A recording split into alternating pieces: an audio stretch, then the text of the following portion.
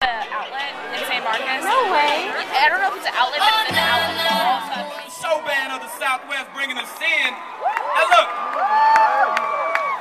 there have been 117 meetings between the Texas Longhorns and that team that's stuck in College Station.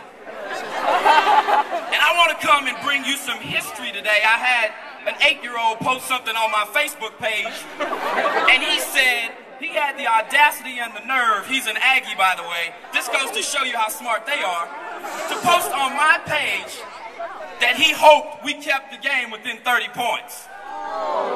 So, I had to give the young man a history lesson as well as a math lesson. And here's what I told him. I said, did you know that the record between these two schools are 75, 36, and 5 in favor of the Longhorns?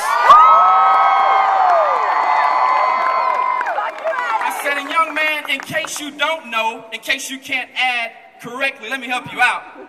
That's 39 games we're up on the Aggies.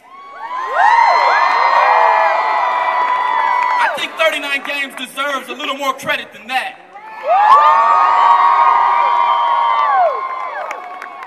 And the team that will be fighting hard to get us our 40th victory on top of them, of course, the difference, will be the 2010 Texas Longhorn team that just became the second team in the history of college football to reach 850 wins.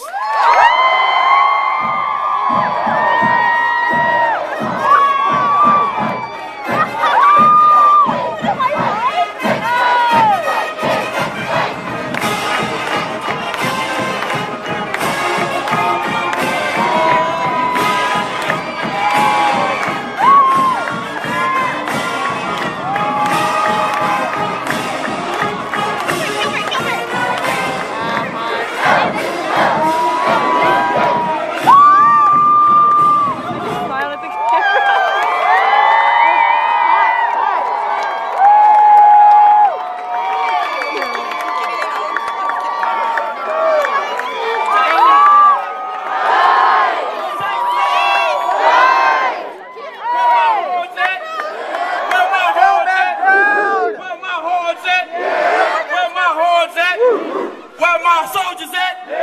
Where my soldiers at? Where my horns at? Where my horns at? Round of applause once again for the 2010 Texas football team, ladies and gentlemen.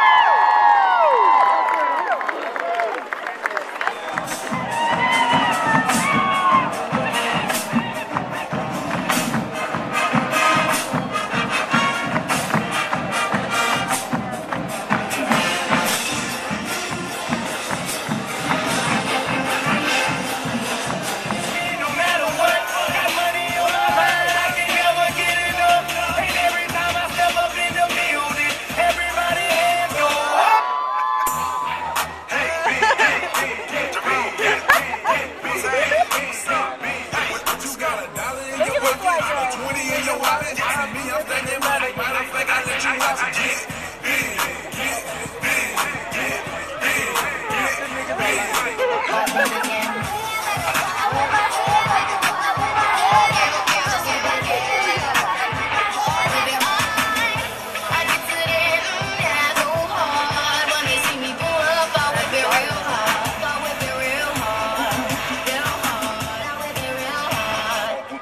My, chick bad, my chick good, my chick do stuff that your chick wish she could. My, chick bad, everything good. My, chick bad, I'm, saying my chick's bad, my chick hood, my chick do stuff that your chick wish she could. Her swagger don't stop, nobody won't quit. So full pipe down, you ain't talking about. No time for games, she's full grown. My chick bad, tell her chick to go home. Texas! Texas! Texas! I like it, I like it. And we're gonna do plenty of fighting on Thursday for sure. This next group that we're gonna bring to the stage, Redefined is a non-profit dance company, student